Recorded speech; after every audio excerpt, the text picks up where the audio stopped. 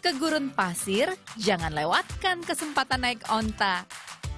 Ya, inilah salah satu atraksi favorit wisatawan yang mengikuti safari gurun pasir di Dubai, Uni Emirat Arab. Seminit saja saya berjalan kaki di atas gurun pasir. This is my driver, Yeah, Mustafa. Mustafa. Hi guys, how are you? Hingga malam masih banyak pengunjung yang mencoba sensasi menunggang onta.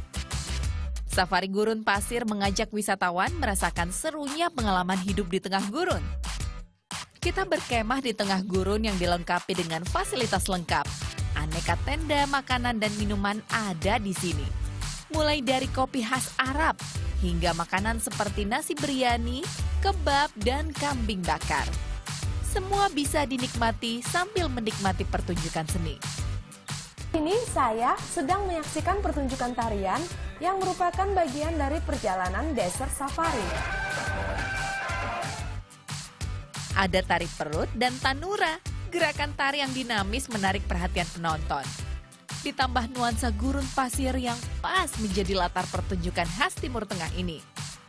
Jika ingin membeli souvenir sebagai kenangan, Anda bisa membeli seni lukis pasir di dalam botol. Untuk menikmati wisata kemah seperti ini, Anda harus merogoh kocek sebesar 75 dolar Amerika atau sekitar 1 juta rupiah.